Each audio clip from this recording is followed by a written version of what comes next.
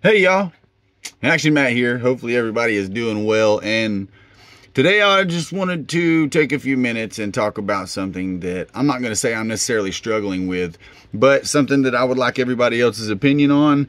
And maybe it's just to be able to pick out things better if I can get other people's opinions on the matter.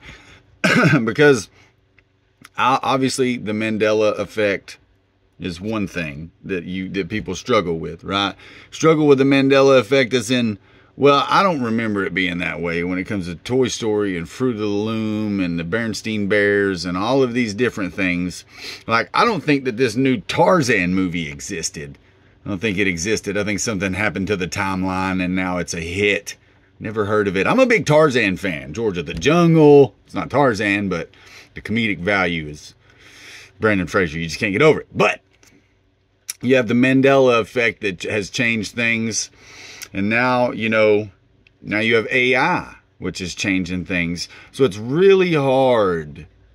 It's really hard to take things into consideration and not fact check, right? So I fact check everything. And I, I constantly say this to my kids.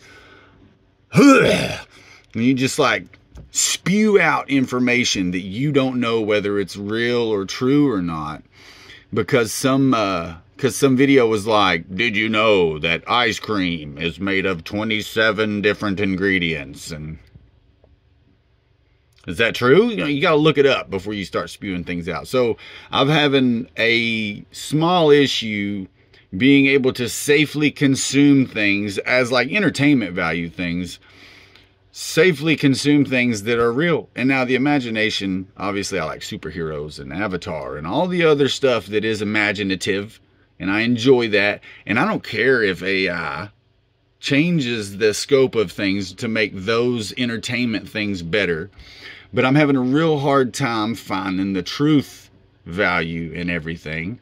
And I wanted to see what you guys are doing in order to kind of swap through all the things that you're ingesting entertainment wise. How are you deciding what's real, what's not, and what may have be some type of crazy crazy cross timeline thing because you add in Schrodinger's cat and that something can and cannot be at the same time.